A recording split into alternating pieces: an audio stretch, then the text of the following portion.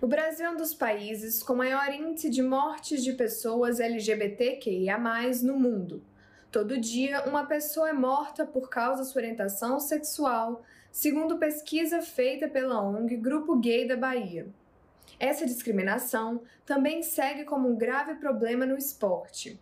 Na tentativa de romper com essa realidade, um projeto apresentado pelo senador Fabiano Contarato aumenta a punição para quem praticar atos de violência motivados por identidade de gênero e orientação sexual. Apesar dos avanços da comunidade LGBTQI, as arquibancadas em estádios e arenas têm sido um ambiente muito hostil. Casos de transfobia e homofobia têm sido muito recorrentes. Por conta disso, uma lei que proíba essas atitudes se faz muito necessária para que a real inclusão do LGBTQI+, no esporte possa ser garantida.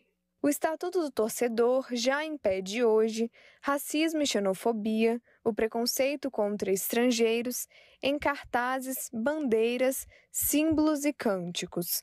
A proposta em análise no Senado inclui nessa proibição as manifestações homofóbicas e transfóbicas. Mesmo que a gente não tenha efetivamente uma punição para quem comete a LGBTfobia, a gente passa a ter uma contabilização e um entendimento, né? Quais são as torcidas que são mais LGBTfóbicas, quais são os estádios onde esses ataques acontecem com mais frequência.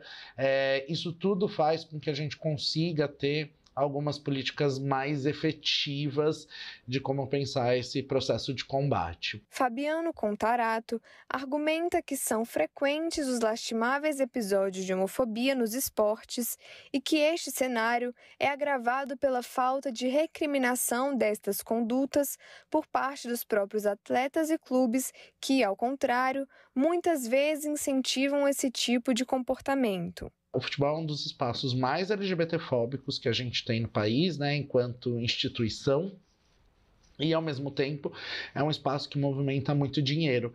Por isso é fundamental que quem financia os times e quem financia as transmissões e todos os processos também tenham suas políticas de diversidade, de combate à LGBTfobia muito arraigada e passem a levar essa cultura de diversidade e, e de desenvolvimento para dentro dos clubes. Felizmente, nos últimos anos, surgiram algumas manifestações de repúdio à discriminação e ao preconceito, assim como de apoio à diversidade por clubes de futebol e também por algumas torcidas organizadas. Foi o caso do Vasco, que lançou uma edição especial de seu uniforme para o Dia Internacional do Orgulho LGBTQIA, trocando a tradicional faixa preta por uma faixa arco-íris e a utilizou na vitória contra o Brusque.